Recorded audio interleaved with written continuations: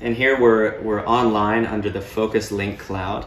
The cool part about this app in particular is that it's very user friendly. I'm not super tech savvy. I can build and construct and do things with my hands, but this is another realm of technology that I'm not accustomed to. And but this is very intuitive. You can see where the energy is flowing. You can see right now that my PV input is you know pumping energy into this inverter into the tiny house. My battery bank is getting a lot of power right now from the sun, and we're using minimal loads because we just have some lights running in the refrigerator.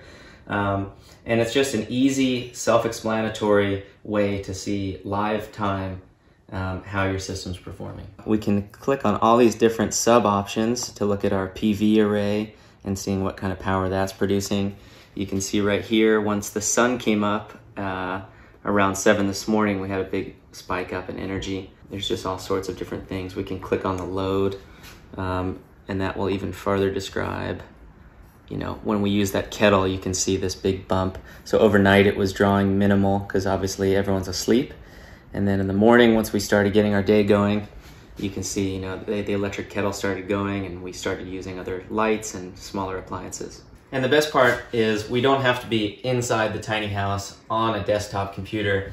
I can take my phone from anywhere in the world and access this same data uh, on a smaller screen. I could be in the middle of nowhere and have the same, same information.